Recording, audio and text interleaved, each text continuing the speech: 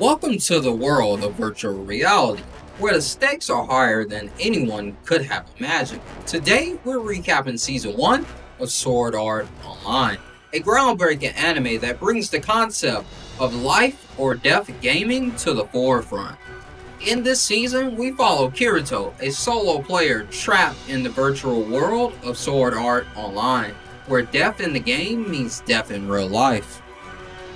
From dangerous dungeons of Aincrad to the mystical world of Alfheim, Season 1 takes us on a journey filled with thrilling battles, heart-wrenching moments, and unforgettable relationships. So let's dive into the two arcs that define Sword Art Online's first season. Aincrad arc and the Fairy Dance arc. The story begins in the year 2022, where a revolutionary new game called Sword Art Online has launched, offering players an immersive virtual reality experience like no other. Kirito, a beta tester for the game, eagerly logs in along with thousands of other players to explore the vast floating castle of Aincrad. But what starts as an exciting adventure quickly turns into a nightmare. Players soon discover that they are trapped inside the game with no ability to log out. The game's creator, Kayaba Akihiko, appears before them and delivers the chilling message. If you die in the game, you die alive. The only way to escape is to clear all 100 floors of the game.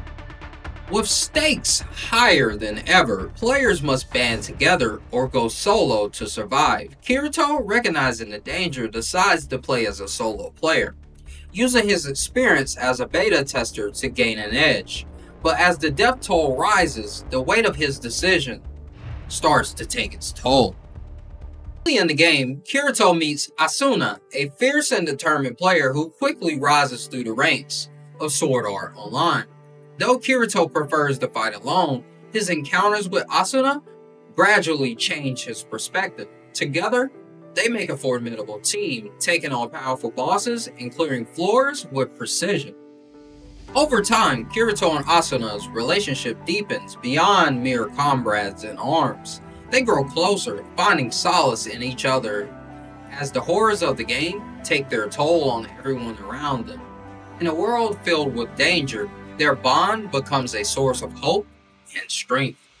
At one point, Kirito and Asuna decide to step away from the front lines and live a peaceful life together in a cabin on the 22nd floor. It's a rare moment of peace amidst the chaos, but it doesn't last. As the game progresses, the looming threat of death remains ever present, forcing them back into battle. As Kirito and other players make their way through the floors of Aincrad, they face increasingly difficult challenges.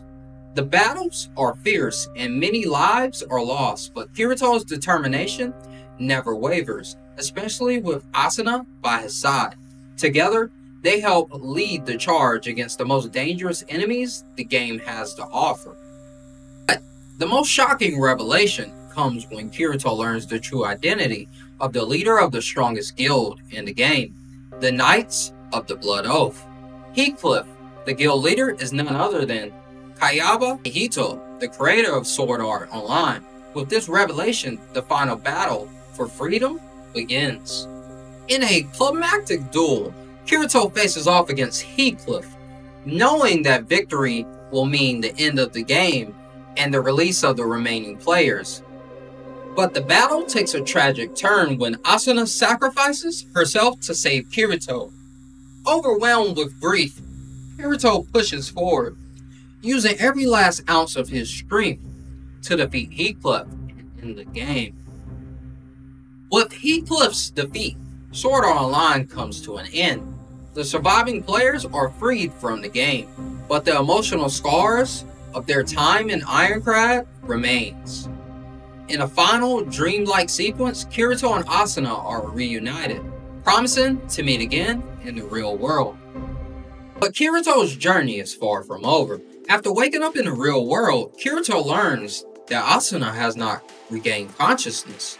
Even though the game has ended, she, along with 300 other players, is trapped in a new game, Alfheim Online, a fairy-themed virtual world. Determined to res rescue Asuna, Kirito logs into Alfheim Online, Alfheim Online, where he meets new allies, including Leafa, a skilled player who helps him navigate the world of flying fairies and magic. Unbeknownst to Kirito, Leafa is actually his younger sister, Suhu Suguha, who has her own complicated feelings for him. Together, Kirito and Leafa embark on a quest to reach the top of the world tree, where Asuna is being held captive by the sinister Oberon, the king of Alfheim. Oberon, also known as Sugo, is the mastermind behind the new game, and his twisted goals make him one of the most despicable villains in the series. Has been trapped in a virtual cage by Oberon, who plans to use her and the other players for unethical experiments, despite grim situations. Asuna never gives up hope that Kirito will come to rescue her.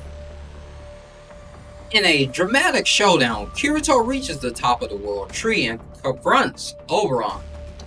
Fueled by his love for Asuna and his desire to end the nightmare once and for all, Kirito overcomes the odds, defeating Oberon in a brutal final battle.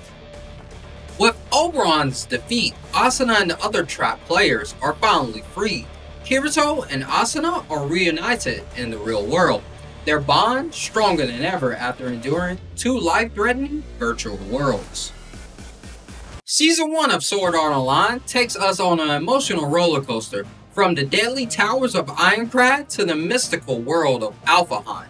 Kirito's journey is one of love, sacrifice, and determination, as he battles not only powerful enemies, but also the weight of the lives depending on him. But even with Aincrad and Alfheim behind them, Kirito and Asuna's journey is far from over. The world of virtual reality has only just begun to unfold, and even greater challenges await them in the future. Thanks for watching this recap of Sword Art Online Season 1. Be sure to like, comment, and subscribe for more anime recaps and breakdowns. Until next time, stay strong and remember, the game may be virtual, but the bonds we form are real. See me to Ralph. Peace.